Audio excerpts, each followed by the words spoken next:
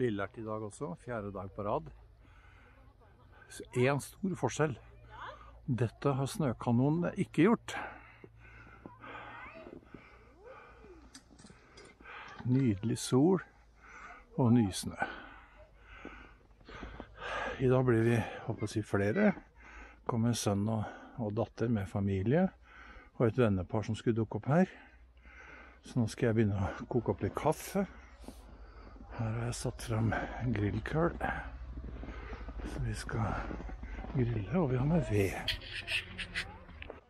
Skal vi se. Da er kaffekjelen fyrt opp. Det blir jo kaffe eller te et eller annet sted jeg finner. Det kommer stadig flere folk her nede. Men eh, Stine og gjengen er litt lenger unna. De er nede på parkeringsplassen ennå. Men nå skal det bli godt med en kopp kaffe.